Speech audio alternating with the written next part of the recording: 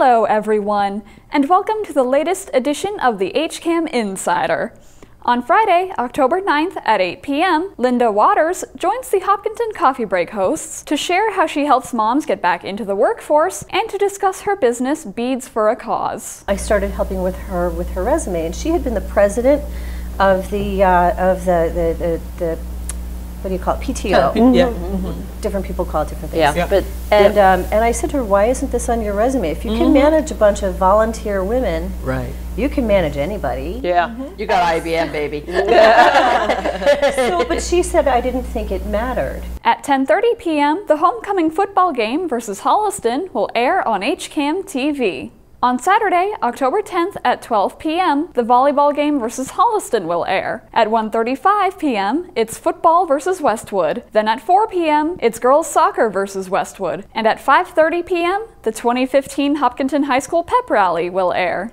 On Monday, October 12th at 9:30 p.m., poet Sander Zulauf discusses how poetry can open up new possibilities on poetic lines. One of my eighth grade students in Paterson is now a, a doctor named Hector Castillo, who ran for governor two times in New, in New Jersey.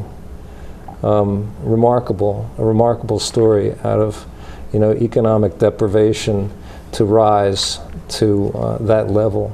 On Tuesday, October 13th at 6:30 p.m., Marjorie Turner Hollman shares tips on when and where to find fall colors in New England. On Wednesday, October 14th at 6:30 p.m., it's the Dig Pink volleyball match against Ashland, live on HCAM Ed. And live on HCAM TV at 7 p.m., the CVS hearing at the Board of Appeals will continue. On Thursday, October 15th at 7:30 p.m., the school committee meeting will air live on HCAM TV. On Friday, October 16th at 9:30 p.m., James Paulhus and Doris Hamburger discuss differences between corporate and community banks on business matters. The uh, larger institutions tend to be organized by function, and um, being able to lead a market like Central Massachusetts, which, which was my role when I left, uh, was very difficult because the leaders in the market didn't report directly to me. If you would like to know more about all of the programs coming up on our channels, visit hcam.tv slash news updates,